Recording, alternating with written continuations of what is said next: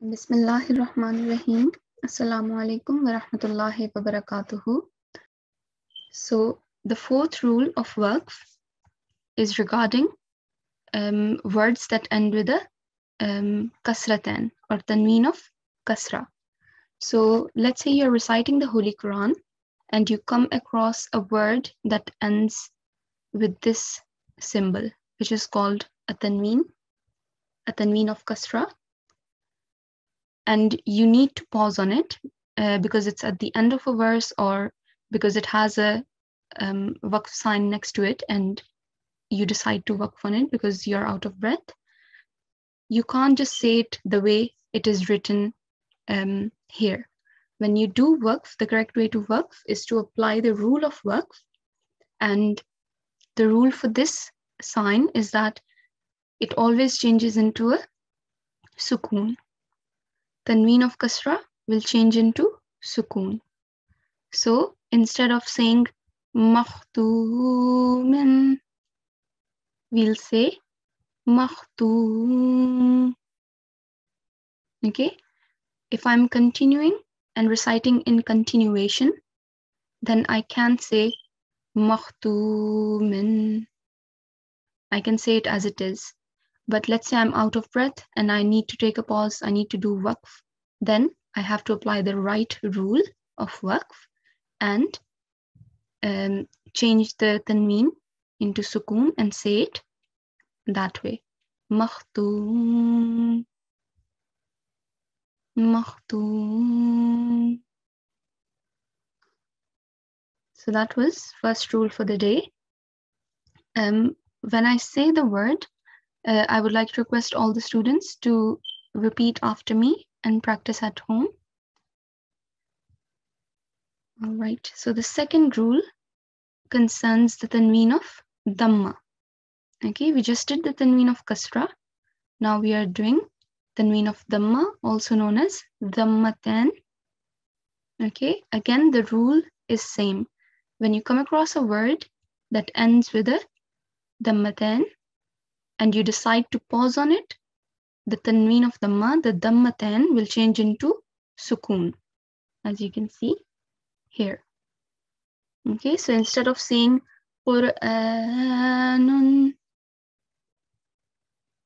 we do waqf and we do it the right way. Qur'an. The, the third rule of waqf concerns kasra ishbaiya or vertical kasra. Okay, again, if you come across a word that ends with a vertical kasra or kasra ishbaiya and you need to pause on it, the kasra ishbaiya will change into sukoon. So instead of saying rasulihi, it will change as ورسوله ورسوله Make sure that the sound of ha is clear at the end. So you have to let all the air out. ورسوله Okay, so the last rule of the day is for Dhamma Ishbaiya or inverted Dhamma. Again, it's the same rule. The Dhamma Ishbaiya or inverted Dhamma will change into a sukoon. So instead of saying Yarahu, we will say Yarah. Yarah. Again, make sure that the sound of Ha is clear at the end. Okay, so just um, to summarize everything that we've just learned, whenever we come across words that end with a kasratan, a dhammatan, a vertical kasra, or an inverted dhamma, and we need to pause on such words, then the last letter, whatever um, the last letter, whichever harakat it is it has out of these four, it will always change into sukoon. Okay, so whatever sign it has, whether it's tanween of kasra, tanween of dhamma, vertical kasra, or inverted dhamma, those four will always change into sukoon, and that is the right way to pause on such words.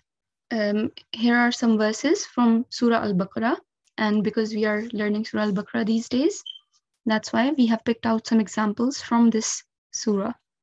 So, um, as you can see here, we learned today that whenever we have a word that ends with a dammatan, it will always change into sukoon. In the case of waqf, okay, in the case when we decide to pause on such word. So this word, aduvun, this will change into aduv. So the dammatan will change into sukoon, but remember the tashdid remains there. Okay, so because it remains there, we have to um, give it a double sound, but at the same time, we have to make sure that um, we are doing it the right way. Okay, and we also learned that if a word is ending with a kasratan or tanween of kasra, it's the same rule. It will change into sukoon. So instead of saying hinin, we'll say hin. Okay, so the kasratan will change into sukoon. Okay.